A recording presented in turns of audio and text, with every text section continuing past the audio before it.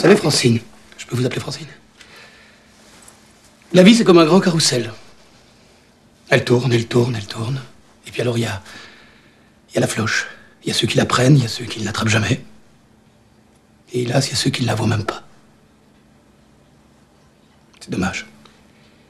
Je ferai le film sans vous.